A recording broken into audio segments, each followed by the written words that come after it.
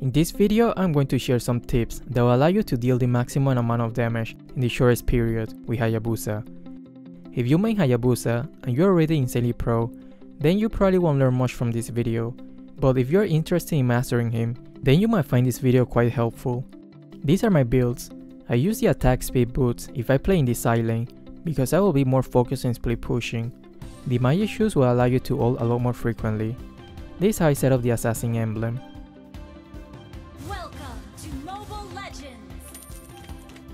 If your team agree on hyper carry Hayabusa, then go to their middle lane. If not, you can play him the side lane as well.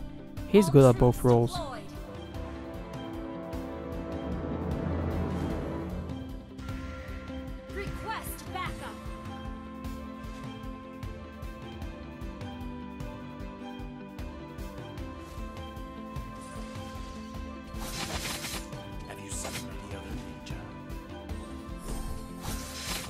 If you manage to get an early advantage in the early game, take the bottom lethal first. You want to deny the enemy farm as much as possible.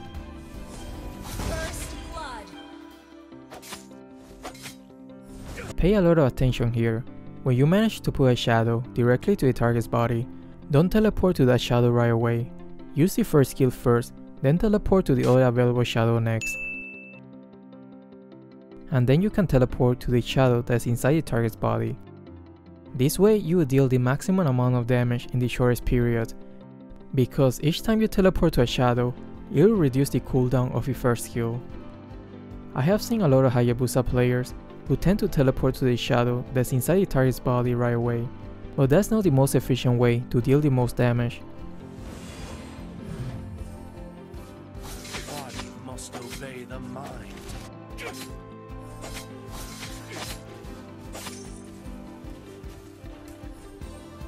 Instead of going to clear the middle lane, I'm going to take the red buff first because I want to let my tank and support gain some level as well. If they're extremely under level, then it's going to be hard to fight the enemy in the long run. It's always a good idea to try to put more pressure on the enemy's carry. If you don't allow the carry to farm, then it's less likely that they can make a comeback.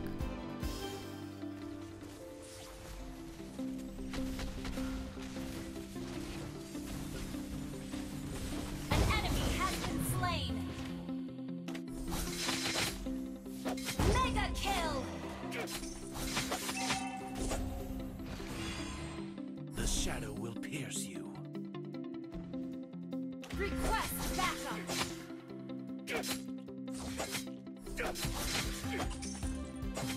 In the early game, you should just use the ultimate to clear the minion wave instantly. This way you can farm extremely fast. One of the things that made Hayabusa so good is his ability to farm extremely fast and without too much risk.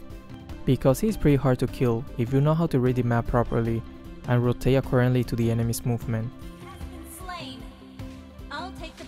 Once again, you can see them always using the other shadow first before teleporting to the target shadow.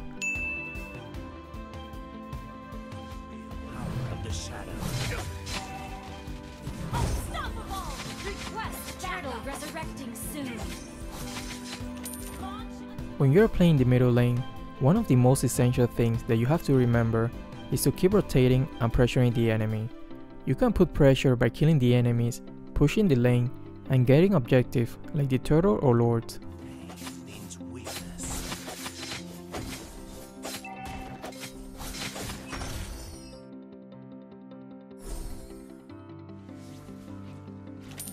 Betrayal must be paid back by blood. Monster kill!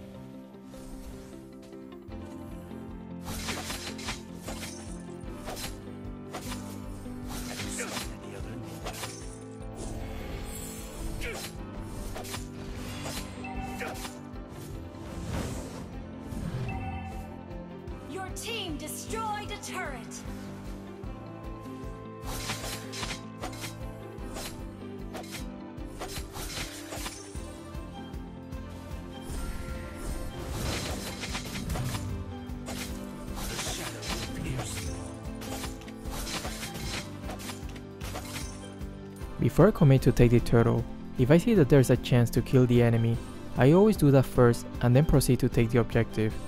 This way you will reduce the chance that the enemy can contest or steal it.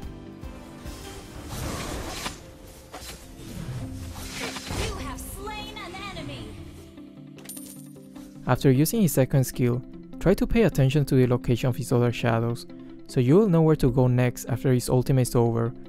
You have to do this extremely fast, almost instantly.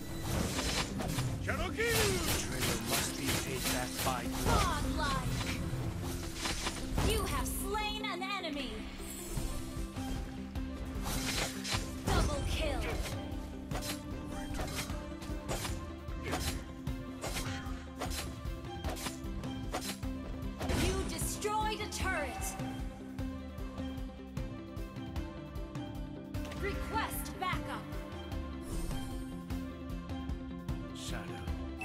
best partner.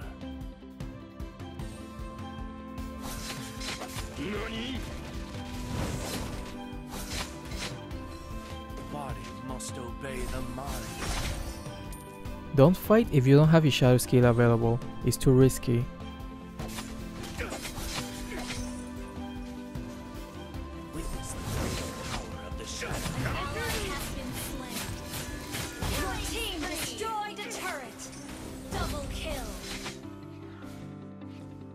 Another important thing that you have to remember when you're using Hayabusa is that you have to constantly pay attention to the map and rotate accordingly.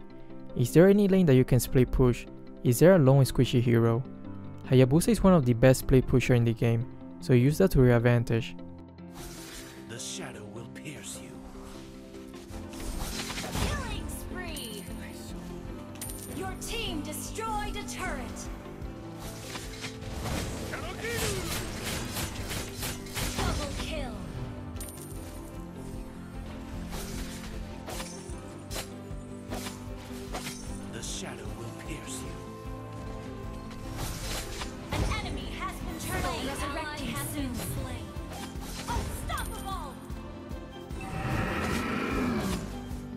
After the latest update, Blade of Heptaseas received a huge nerf, and I'm not sure how good it is anymore. I will have to do some tests and probably make a video about it.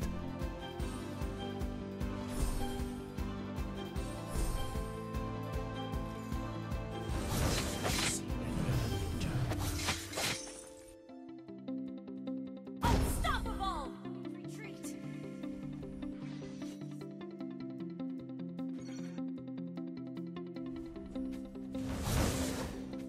You seen An ally has slain the turtle. Monster kill. Shut down. Enemy double kill. An enemy has been slain. Around this time, the enemy is probably taking their blue buff.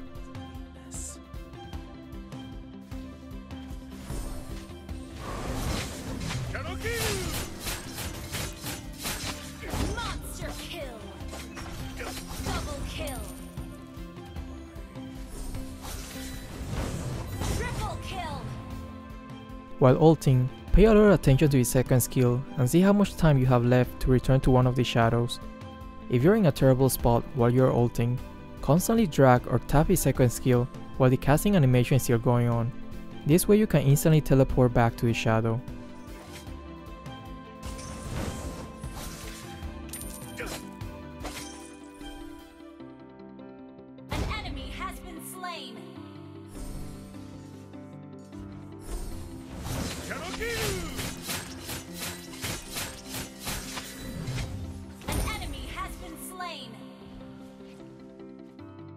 When playing against Lancelot, just wait until he casts his second skill before ulting, because his second skill can cancel Hayabusa ultimate.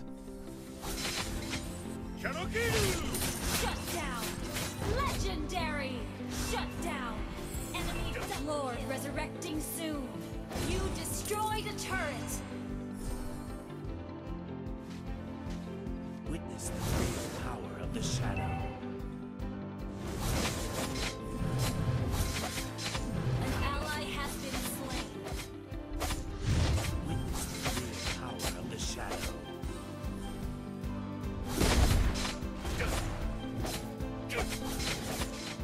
Khufra is doing a great job at distracting the enemies while I'm taking the Lord. If you're playing a tank, That's what you should usually do when your team is taking the Lord.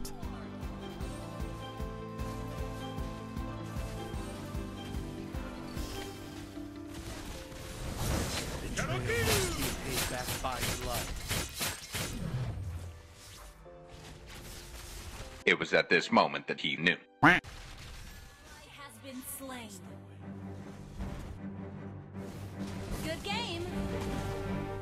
I hope you found this video entertaining, and if you did, don't forget to like and subscribe.